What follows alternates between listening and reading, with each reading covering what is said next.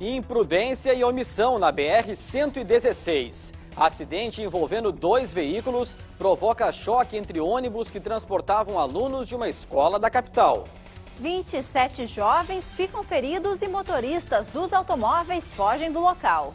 Palácio Piratini anuncia a criação de estruturas de controle e investigação interna para a área ambiental do estado. Superação sem limites. Para atleta gaúcho quer entrar no Guinness Book ao percorrer ultramaratona de 200 quilômetros. Esse é o Jornal da TVE, que já está no ar. Boa noite. Boa noite. Os órgãos ambientais do Estado passam por mudanças depois das prisões e denúncias de irregularidades. A criação de um programa de sustentabilidade e a instalação de uma corregedoria estão entre as medidas tomadas para retomar a normalidade e melhorar o atendimento. Cerca de 8 mil processos aguardam por licenciamento no Rio Grande do Sul. A secretária estadual interina do Meio Ambiente, Mari Perusso, apresentou ações da pasta durante Câmara Temática junto ao Conselhão. Ela informou que a Procuradoria-Geral do Estado foi oficiada para realizar sindicância. Isso porque a SEMA ainda está sem acesso aos autos da investigação da Polícia Federal que apura irregularidades na concessão de licença ambiental. A sindicância ela ainda não iniciou, tem um pedido, a PGE deve instalar e ela vai se basear também também nas questões que estão dentro dos autos do inquérito. Né? Essas medidas que nós estamos anunciando são medidas que nós já havíamos, já vimos trabalhando na Casa Civil, é, com a relação aos funcionários, na sala de gestão, que possibilitam a melhoria da gestão e ouvindo os próprios gestores que lá estão. A secretária também destacou a instalação de ouvidoria e corregedoria interna. Segundo ela, essa era uma reivindicação dos funcionários da Fundação Estadual de Proteção Ambiental e da SEMA. Hoje vamos anunciar aqui na Câmara Temática, mostrar quais são os, os programas que funcionam na FEPAM, que funcionam na, na SEMA, qual a prioridade deles. Vamos anunciar a questão da instalação da ouvidoria né, na SEMA, na FEPAM, o estudo da, de instalação de uma corregedoria, que é uma reivindicação antiga dos funcionários, e a instalação de uma sala de gestão né, na SEMA e FEPAM para acompanhar os programas estratégicos junto com os técnicos desses dois órgãos. O presidente da Associação Gaúcha de Proteção ao Ambiente Natural, Francisco Milanês, foi anunciado como coordenador do programa de sustentabilidade ambiental. A questão ambiental tem servido só para nos cercear e limitar. E o que nós pretendemos é que a gente olhe positivamente, uma agenda positiva ambiental e mostrar o quanto o meio ambiente pode ser útil tanto para a saúde das pessoas, a qualidade de vida. É, quando a gente fala em um Rio Grande do Sul sustentável, é um Rio Grande do Sul onde as atividades produtivas e as demais atividades não se entrem em se embatendo, se desgastando umas às outras, porque hoje nós temos um desenvolvimento que não é pensado e não é uma culpa do Rio Grande do Sul, isso é no planeta, né? O novo Código Florestal vai completar um ano e ainda gera muitas dúvidas. Para auxiliar os produtores rurais, foi lançada uma cartilha para esclarecer sobre a atual legislação. Como parte das ações de orientação sobre a nova lei ambiental, o deputado federal Elvino Bongás promoveu o evento de lançamento da cartilha Novo Código Florestal para preservar produzindo e produzir preservando. A publicação informa sobre as principais mudanças na legislação e orienta o produtor rural sobre os procedimentos que devem ser adotados a partir de agora. Nós estamos colocando didaticamente o que é uma área de preservação permanente, como é que faz a recomposição da mata ciliar, a diferenciação entre a famosa escadinha, que quem tem pouca terra recompõe pouco, quem tem mais recompõe mais. Então, toda essa explicação nós damos de uma forma bem pedagógica, didática. O prazo de cinco anos para os produtores rurais aderirem ao cadastro ambiental rural começa a contar ao final de maio, quando o novo código completa o primeiro ano de vigência.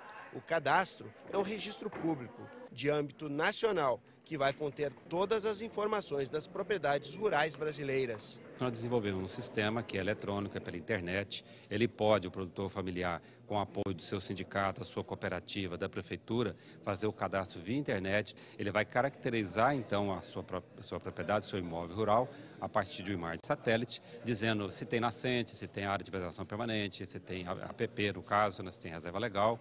E se não tiver, aí ele vai programar a sua recuperação, que a lei estabelece também um prazo de em até 20 anos para que isso seja feito.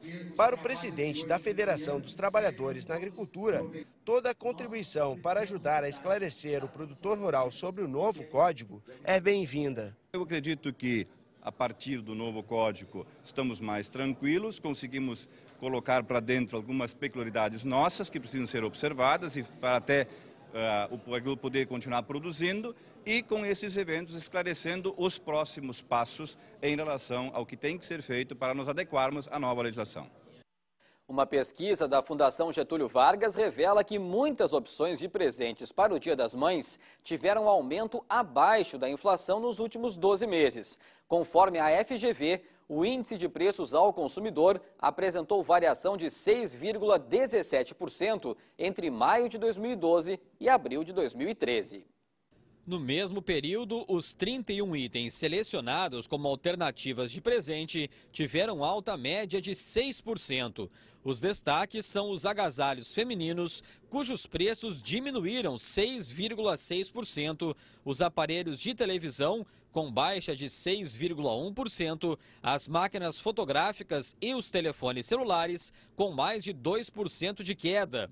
Na contramão, aparecem os shows musicais, com aumento superior a 12%, as bijuterias, com alta de 11,3%, e as refeições em restaurantes, com mais de 8%. Mas a Fundação Getúlio Vargas alerta os consumidores para que procurem presentes adequados ao seu orçamento. Quem decidir comprar uma televisão, mesmo com a boa redução de preço, deve ter certeza que poderá comportar a despesa. O Rio Grande do Sul é o segundo estado com maior taxa de adesão à campanha nacional de vacinação, que terminou hoje.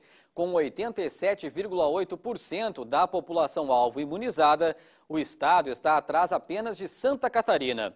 Segundo o levantamento da Secretaria da Saúde, mais de 2 milhões e 500 mil gaúchos que estão no grupo de risco receberam a dose. Já depois do intervalo. Acidente envolvendo dois ônibus na BR-116 deixa feridos 27 estudantes de escola da capital. Um acidente envolvendo dois ônibus deixou 27 estudantes e três professores feridos esta manhã na BR-116. Eles foram encaminhados ao Hospital de Pronto-Socorro de Canoas com escoriações leves e liberados no início da tarde. Um acidente hoje por volta das nove e meia na BR-116, no viaduto em frente à Praça do Avião, em Canoas, envolvendo cinco carros e mais de 30 pessoas entre adultos e crianças, provocou pânico pela manhã. Dois carros de passeio colidiram e obrigaram um Celta e os dois ônibus da empresa Tours Prop de Porto Alegre, que seguiam atrás, a frear bruscamente. Mas o motorista do último veículo não conseguiu parar a tempo e chocou no da frente. Os dois ônibus carregavam cerca de 40 crianças da escola Rodolfo Arnolds, do bairro Rubem Berta, que sofreram apenas ferimentos leves. Eles saíram de Porto Alegre logo cedo em direção ao zoológico de Sapucaia. A culpa será apurada pela Delegacia de Trânsito a posteriori. A gente não pode atribuir culpa antes de haver um inquérito policial competente para isso. Como envolvem vítimas crianças, a gente tem que destinar uma atenção especial ao, ao acidente. Segundo o registro do acidente efetuado na Central de Polícia de Canoas, os motoristas dos ônibus conduziam os veículos a 40 km por hora e não estavam embriagados. Mas, de acordo com a escrivã, os dois devem ser indiciados por lesão corporal culposa. Eu comecei a botar tudo para o primeiro ônibus, né? porque o primeiro ônibus tinha condições de rodar. Aí, quando começou a dizer que tinha criança pisada, eu comecei a botar o primeiro ônibus para levar para o socorro, já o próprio ônibus ia levar, né? Entendeu? Porque a gente tinha ligado para essa moça, mas não tinha vindo. A gente conduz com segurança, os, os, ônibus todos têm licença, os ônibus têm também cintos de segurança. Eu pedi que colocassem, meu colega pediu que colocasse os cintos, né? mas como a gente vinha 40 km por hora, 40 km por hora, a gente tem disco de tacógrafo, está ali com a nossa, com a delegada. Até a metade da tarde, quase todas as crianças entre 7 e 14 anos de idade já haviam sido liberadas. Na hora a gente se apavora, né, tudo, mas eles estão bem. O racismo institucional e a desigualdade de gênero agora têm um guia de enfrentamento. A publicação, lançada hoje pelo governo federal em Brasília, será distribuída em todos os órgãos públicos do país. Como definir e identificar o racismo institucional? Como enfrentá-lo? Essas perguntas fazem parte da apresentação do novo guia, que tem como objetivo ajudar a respondê-las.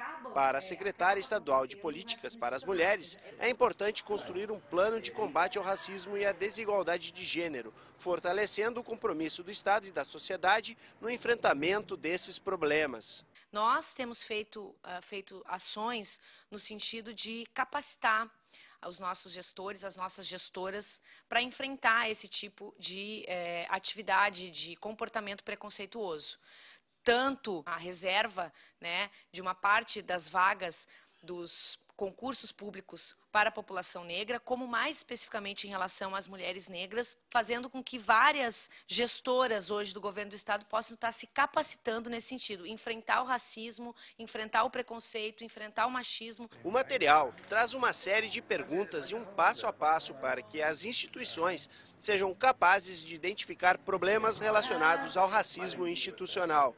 Para Maria Luísa, da ONG Sempre Mulher em Porto Alegre, o novo guia pode ajudar a combater as desigualdades de gênero e raça na sociedade como um todo. Para sua implementação efetiva, para que a gente consiga concretizar alguma ação que se materialize mesmo, que se concretize em ações para a população. Então, nesse sentido, também é bem importante que secretarias estaduais, tanto de promoção da igualdade racial, quanto de promoção de políticas para as mulheres, assim como as suas devidas correspondências municipais, também se debrucem sobre um material como esse. Além de provocar recordes negativos de temperatura durante o outono, a massa de ar polar que cobriu o estado nesta semana surpreendeu pela baixa umidade relativa. O Instituto Nacional de Meteorologia registrou 8% de umidade do ar em Soledade. Esse foi o mais baixo no estado. Canela, São José dos Ausentes, Passo Fundo e Vacaria ficaram com 10%. E Cruz Alta, Santo Augusto, Lagoa Vermelha e Ibirubá, 11%. Existe um movimento de baixo para cima, que é o movimento de convecção, que todo mundo conhece, que é o movimento que formam as nuvens. Esse não tem dúvida. E existe também o movimento ao contrário, que é o movimento de cima para baixo. E esse movimento de cima para baixo é chamado de subsidência. Quando a gente pega um período longo de massa de ar seco, o que domina é esse movimento de subsidência. Ele joga a umidade para as áreas de baixada. Então, o que acontece? Os vales normalmente ficam com umidade e as partes altas ficam mais secas. Os índices registrados nos municípios ficaram bem abaixo do valor recomendado, 60%, para que as pessoas tenham uma respiração adequada. Este pneumologista explica as consequências. O clima seco com pouca umidade, ele pode favorecer sintomas respiratórios como tosse, tosse seca, desconforto para respirar incremento, piora das doenças que as pessoas já têm, por exemplo, asma, rinite. E, e essa sensação é uma sensação que traz bastante desconforto e dificuldade progressiva de respiração. Mas bastante líquido ajuda, mas a questão realmente climática ela é mais forte do que tudo isso. Então, em pequenos ambientes, dá para se umidificar o, o ambiente com esses umidificadores. A boa notícia para os municípios que enfrentam a baixa umidade relativa do ar é que a partir de amanhã uma nova frente fria deve chegar no estado. O sábado começa com nevoeiro em grande parte das regiões e a partir da tarde a instabilidade provoca chuva principalmente na fronteira oeste. No restante do estado, o sol aparece, mas com bastante nebulosidade e chance de pancadas no fim do dia. Céu parcialmente nublado na região metropolitana, máxima de 27 graus em Porto Alegre. Em Rio Grande, no litoral sul, pode chover da tarde para a noite, mínima de 14. A nebulosidade varia em Erechim, no noroeste do estado. O dia começa com 10 graus. Na região central e na fronteira oeste, chove no decorrer do dia. Faz 26 graus em Santa Maria e 22 em Uruguaiana. Já no domingo de Dia das Mães, a instabilidade avança pelo território e chove na maior parte do estado. Veja a seguir. Para-atleta quer entrar no Guinness Book, percorrendo ultramaratona de 200 quilômetros no Rio Grande do Sul. Todos contra a pedofilia. Uma campanha lançada por instituições sociais mobiliza a população para combater o abuso sexual infanto-juvenil, levando em conta a perspectiva da realização da Copa do Mundo no país. A campanha nacional contra a pedofilia lançada nesta semana tem por objetivo alertar sobre os perigos e as consequências do abuso sexual infanto-juvenil. Diversas atividades serão desenvolvidas até setembro de 2014 nas cidades sedes da Copa do Mundo. Em Porto Alegre, a iniciativa é organizada pela Fundação Pão dos Pobres e Instituto Visão Social. A gente precisa alertar a sociedade que a pedofilia existe em todas as classes sociais, em todos os cantos existe, não é uma coisa regional. E a ideia é tornar pessoas multiplicadoras desse conceito de como as pessoas podem ajudar quando ficam sabendo de algum caso de pedofilia. As crianças de 0 a 10 anos de idade são as maiores vítimas de abuso sexual. Estatísticas sobre pedofilia apontam que 80 a 90% dos praticantes da violência não apresentam nenhum sinal de alienação mental, portanto, são conscientes de seus atos e juridicamente imputáveis. O gerente da Fundação Pão dos Pobres acredita que é preciso expor a gravidade da pedofilia para evitar novos casos. Por isso, a instituição está engajada na campanha. A Fundação Pão dos Pobres atende hoje 1.200 crianças e adolescentes de 0 a 24 anos de idade vítimas de abusos, maus tratos e abandono ou em vulnerabilidade social são destituídas do poder familiar e a sociedade não sabe muitas vezes o porquê que a criança está aqui.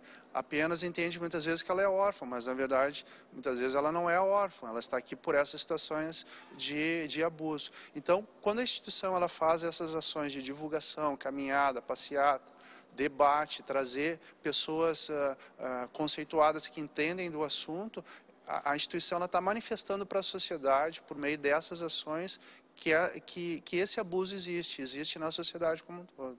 Crianças que, que são abusadas na infância, elas trazem isso, né, de apresentar um comportamento mais sexualizado, inclusive esse é um dos sintomas do abuso, né, e na vida adulta acabam tendo problemas com a sexualidade também, não conseguem lidar com a sexualidade de uma forma saudável. A ideia é disseminar a informação através de materiais impressos distribuídos em bares, restaurantes, hotéis, clubes e associações. Nós vamos fazer muitas assim caminhadas, a gente vai para a rua com a camiseta, com a faixa, com os folders explicativos para falar o que é a pedofilia. A gente quer capacitar multiplicadores através de oficinas, também disseminando o conceito onde as pessoas podem procurar ajuda, que é o básico é o Disque 100, depois tem algum 0800, tem o DECA, que é a Delegacia da Criança e do Adolescente também. A cultura digital esteve em pauta na noite de ontem na Casa de Cultura Mário Quintana, durante o lançamento de mais uma edição do Conexões Globais. O evento, promovido pelas Secretarias Estaduais de Comunicação e da Cultura, vai acontecer entre os dias 23 e 25 de maio. A segunda edição do Conexões Globais irá promover mais uma vez o debate sobre mobilização social e direitos civis na era da internet, cultura digital, liberdade de expressão e democracia 2.0. Esse mundo da web, ele ainda é, eu ousaria dizer, um mistério. Porque, pelo menos na área da comunicação estrito senso, não se sabe que rumo vai tomar. Né? As grandes mídias estão sendo influenciadas pela web, é, se modificando para se adaptar à linguagem da web. Mas é, eu acho que essa é a grande discussão. é, que rumo vai tomar o mundo da comunicação a partir da intervenção da cidadania via web. A cultura digital é importante porque ela traz né, a conexão é, das culturas populares, das culturas urbanas, suburbanas, culturas muitas vezes invisibilizadas né, pela homogeneização do olhar, né, pela mercantilização é, da cultura. É, então, a cultura digital ela, ela nos ajuda a enxergar é, muito mais do que é, muitas vezes se pensa algo simplesmente é, desconectado, descolado do mundo. Na verdade, ela mostra o que existe de mais real, de mais concreto a primeira edição do evento, promovida no ano passado, atraiu um público de mais de 10 mil pessoas aqui na Casa de Cultura Mário Quintana. Mas estima-se que um público de mais de 100 mil pessoas tenha sido atingido via internet. Além das oficinas e diálogos, o Conexões Globais deste ano conta com uma programação artística intensa. Uma das atrações é o carioca, cantor e compositor Jorge Maltner. O artista Xadalu começou a espalhar pela cidade suas serigrafias do índiozinho e em pouco tempo sua arte protesto ganhou a rede e se espalhou pelo mundo. O personagem foi criado há oito anos atrás, né, com o intuito de uma forma de protesto sobre a destruição da cultura indígena e a conscientização de prevenção da natureza e se tornou um viral em potencial também com esses sistemas digitais de hoje, né, atingindo 60 países, quatro continentes por só uma causa, a causa indígena e tal. Diversos nomes estão confirmados para diálogos presenciais e via Skype, como o sueco Peter Sand, criador do maior site de busca de arquivos torrent do mundo, o The Pirate Bay, e o jornalista Franklin Martins, que foi ministro no governo Lula. O paratleta gaúcho João Correia realiza neste sábado uma prova de fogo e também de fôlego. Ele pretende completar uma ultramaratona de 200 quilômetros em 12 horas. Se conseguir realizar a façanha, o esportista pode entrar para o livro dos recordes. João Correia, medalhista em diversas competições no Brasil e no exterior, revela paixão pelo atletismo desde criança. Após os 19 anos, quando sofreu um acidente, passou a treinar em cadeiras de rodas adaptadas. No próximo sábado, ele realiza uma prova inusitada, a ultramaratona. Serão percorridos 200 quilômetros em 12 horas. Ela sai aqui de Canoas, da, da Rua Liberdade, onde é a sede da Água Mineral Itati, vai a Osório, retorna embaixo do viaduto, chegando em Porto Alegre, no, na Beira Rio. Uh, entre 14h30 e 16 horas. Nós temos 12 horas para fazer esse percurso. Eu acredito que a gente faça em menos, né? Eu sou muito otimista para isso, né? mas a gente tem esse tempo para fazer.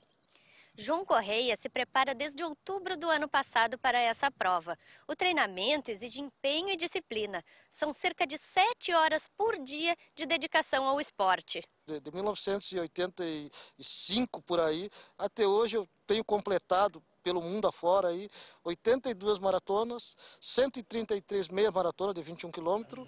A rústica eu já perdi a conta. Eu fui atleta da seleção brasileira, tive com ela por duas vezes. Eu tive no Mundial da Inglaterra. Uh, já corri Pan-Americano, Sul-Americano, algumas provas já venci. Uh, fui campeão brasileiro por três vezes. Uh, agora fazia três anos que eu sou vice-campeão brasileiro nos 10 quilômetros em pista corri gires, corri jergues, corri prova de pista. Então, nesses anos, eu sempre tive a prática da maratona. O projeto conta com uma equipe que o acompanha em todos os momentos, desde o treinamento até o dia da prova. De uma equipe de 10 ciclistas voluntários, acompanhados por nutricionista, médico, preparador físico, ensinaram o João a pedalar e a manter a forma física para enfrentar esse desafio. O trajeto será realizado com a handbike. Explica pra gente, Marcos, qual a diferença da handbike em relação à bicicleta comum, como ela se caracteriza, quais as diferenças para o público que não conhece? Uma handbike como a do João Correia, ela em princípio é muito parecida com uma bicicleta convencional. Ela tem as rodas, mas em número de três, uh, tem o sistema de câmbio igual à bicicleta de uma pessoa andante. Em vez da pedivela, onde estão os pedais, o João tem aqui na handbike uma manivela. Na manivela estão todos os comandos de câmbio, troca de marchas e também o acionamento dos freios. Ou seja, em vez de ele pedalar com os pés, como ele é portador de necessidade especial, ele aciona com os braços a roda dianteira que impulsiona o equipamento em velocidades até mesmo superiores a uma bicicleta convencional. O jornal